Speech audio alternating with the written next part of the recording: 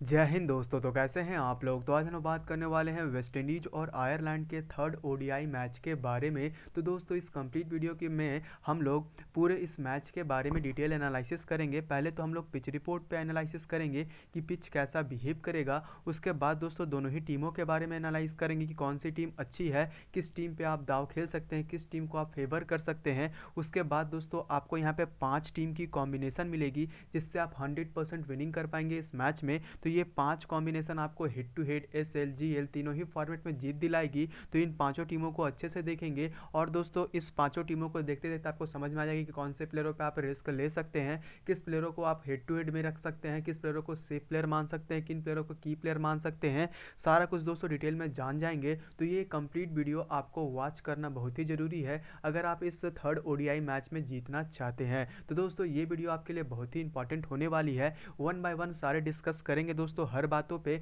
तो दोस्तों, पूरे ध्यान से इस वीडियो में बने रहेंगे। और दोस्तों, अगर वीडियो पसंद आ रही हो तो वीडियो को लाइक ज़रूर कर दीजिएगा। और हमारे चैनल में अगर पहली बार आए होंगे तो वीडियो को सब्सक्राइब मतलब चैनल को सब्सक्राइब ज़रूर कर लीजिएगा। टेलीग्राम ग्रुप और इंस्टाग्राम ग्रुप में भी ज्वाइन हो जाइएगा। नीचे डिस्क्रिप्शन में टेलीग्राम ग्रुप और इंस्टाग्राम ग्रुप दोनों ही का लिंक दिया हुआ है, जाकर आपको बस टच कर कर ज्वाइन हो जाना है। तो चलते हैं दोस्तों, वन बाई वन पूरी मैच की बात करते हैं। तो पहले यहाँ पे वेन्यू की बात कर लेते हैं। तो दोस्तों, ये जो मैच है, वो सबीना पार्क में खेला जाएगा। सबीना पार्क दोस्तों, ये स्टेडियम का नाम है, जो कि जमाइका में स्थित है। जमाइका वेस्ट इंडीज में है दोस्तों तो जमाइका में स्थित है ये सबीना पार्क, जहाँ पे दोस्तों जो एवरेज स्कोर निकल कर आ रही है, वो 230 रनों के आसपास का निकल कर आ रहा है। हालाँकि दोस्तों, दोनों ही टीम तो उतनी बड़ी तगड़ी नहीं है। वेस्ट इंडीज़ भी धाराशाही तुरंत हो जाती है और आयरलैंड भी तो बड़ी टीम नहीं है। तो ज़्यादा स्कोर आपको बनते हुए नहीं दिखेगा। अगर वेस्ट इंडीज़ पहले बैटिंग करती है तो थोड़ा ज़्यादा स्कोर आपको देखने को मिल सकता है।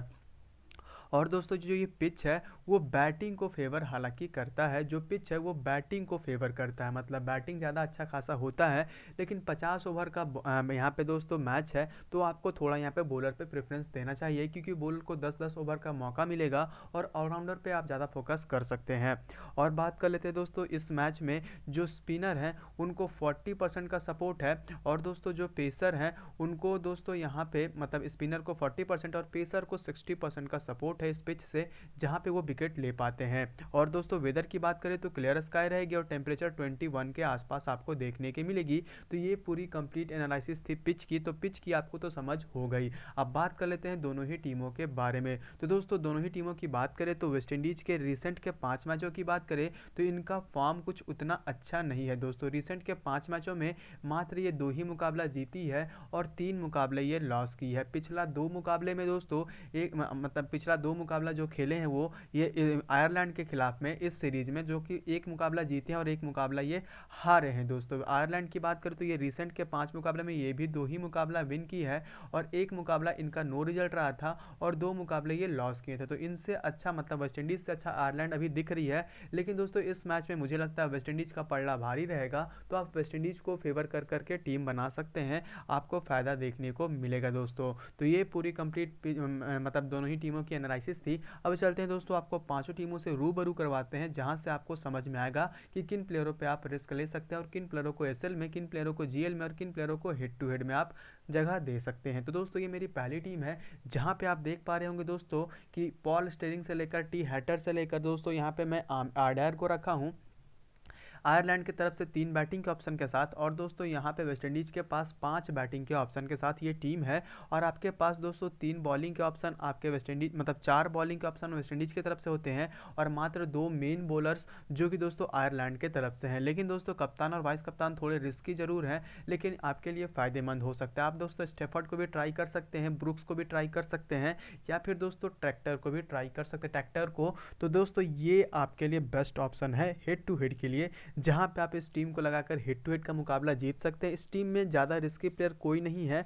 सभी के सभी दोस्तों, यहाँ पे आपके लिए फ़ायदेमंद प्लेयर हैं और हायर परसेंटेज वाले प्लेयर हैं जो आपको हेड टू हेड का मुकाबला जिता सकते हैं। तो कोई चेंजेस आपको करने की अगर अपने तरफ़ से इच्छा है तो उसको कर सकते हैं या फिर सेम टीम से जाकर आप इजीली हेड टू हेड का मुकाबला जीत सकते हैं और साथ ही साथ दोस्तों इस टीम को आप ग्रैंड लीग में भी लगा लेंगे। अब चलते हैं दोस्तों दूसरी टीम की तरफ़। तो दोस्तों ये मेरी दूसरी टीम है जहाँ पर आप देख पा रहे होंगे कि इस टीम में बॉलर्स ज़्यादा हैं। दोस्तों आप देख पा रहे होंगे कि चार बॉलिंग मतलब सात बॉलिंग के ऑप्शन आपको पूरे के पूरे मिल जाते हैं इस टीम में और मात्र सात साथ बैटिंग के भी ऑप्शन मतलब आपके पास ऑप्शन की कमी नहीं है। आपके पास दोस्तों बहुत ही अच्छी ऑप्शन है यहाँ पे बैटिंग और बॉलिंग से। तो दोस्तों इस टीम में भी पाँच बैटिंग के ऑप्शन आपके दोस्तों मिल जा रहे हैं वेस्ट इंडीज़ की तरफ़ से और मात्र दो ही ऑप्शन आपको आयरलैंड की तरफ़ से मिल रहे अगर बढ़ाना चाहेंगे तो आप बढ़ा सकते हैं। एक यहाँ पे ब्रुक्स को कम कर सकते हैं और इधर के बैट्समैन डाल सकते हैं या फिर दोस्तों सेम टीम से जाकर आप इजीली विन कर सकते हैं। मिनी जीएल का कॉन्टेस्ट, ये टीम आपको मिनी जीएल ज़रूर जिताएगा। तो इस टीम को आप मिनी जीएल में लगाएँ और दोस्तों इस टीम को साथ ही साथ आप ग्रैंड लीग में भी लगा लेंगे। अब चलते हैं दोस्तों, आपको रिस्की प्लेयरों से मिलवाते हैं, रिस्की टीमों से मिलवाते हैं। तो दोस्तों, ये रिस्की टीम ज़रूर है, इस टीम में देख पा रहे होंगे कि दोस्तों, यहाँ पे चार बॉलिंग के ऑप्शन आपको वेस्ट इंडीज की तरफ़ से मिल रहे हैं और तीन बॉलिंग के ऑप्शन आपको दोस्तों, यहाँ पे आयरलैंड की तरफ़ से मिल रहे हैं। इस टीम में चार बैटिंग के ऑप्शन आपको वेस्ट इंडीज की तरफ़ से मिल रहे हैं और चार बैटिंग के ऑप्शन आपको आयरलैंड की तरफ़ से मिल रहे हैं। तो ये कंप्लीट दोस्तों, आपको दोनों ही तरफ़ से टीम लिया हुआ मतलब आपको ये बोलेंगे तो परफेक्ट बैलेंस टीम है, जिससे आप विनिंग कर सकते हैं ग्रैंड लीग का मुकाबला। क्योंकि दोस्तों, यहाँ पे कप्तान और वाइस कप्तान थोड़े रिस्की ज़रूर है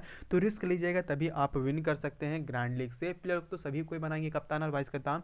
तो अगर ग्रैंड लीग जीतना है तो आपको यहाँ पे रिस्की प्लेयरों पर भरोसा करना पड़ेगा। तो दोस्तों, ये मेरी चौथी टीम है जिसको मैंने ग्रैंड लीग के लिए बनाया। इस टीम में आप ये खासियत है कि इस टीम को मैंने थोड़ा फेवर किया है आयरलैंड को। चार बॉलिंग के ऑप्शन आयरलैंड की तरफ़ से मिल रहे हैं और मात्र दो ही बॉलिंग के ऑप्शन आपको वेस्ट इंडीज़ के तरफ़ से मिल रहा है और चार बैटिंग के ऑप्शन आपको वेस्ट इंडीज़ की तरफ़ से और चार बैटिंग के ऑप्शन आपको आयरलैंड की तरफ़ से भी मिल रही है। तो ये टीम भी थोड़ी सी रिस्की ज़रूर है, लेकिन आपके लिए फ़ायदेमंद ज़रूर है दोस्तों। यहाँ पे मैंने साई होप को, वाइस कप्तान और कप्तान मैंने आहिल हुसैन को बनाया है। अगर चेंज करना चाहेंगे तो दोस्तों, टी लिटिल, जे लिटिल को आप ट्राई कर सकते हैं या फिर कैम्फर को भी ट्राई कर सकते हैं। ये आपके ऊपर है या फिर सेम टीम से जाकर आप इजिली विन कर सकते हैं। आखिरी टीम की तरफ़ चले दोस्तों, ये मेरी आखिरी टीम है जो कि बहुत ही ज़्यादा रिस्की टीम है।